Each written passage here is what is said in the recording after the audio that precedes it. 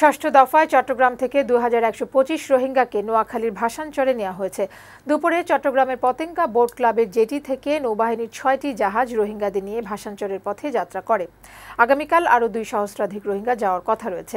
এর আগে গতকাল একটি দলকে নোয়াখালীর ভাসানচরে নেয়ার কথা থাকলেও বৈরী আবহাওয়ার কারণে নেওয়া হয়নি। এ পর্যন্ত কক্সবাজারের বিভিন্ন রোহিঙ্গা ক্যাম্প থেকে চোদ্দ হাজারেরও বেশি রোহিঙ্গাকে ভাসানচরে স্থানান্তর করা হয়েছে।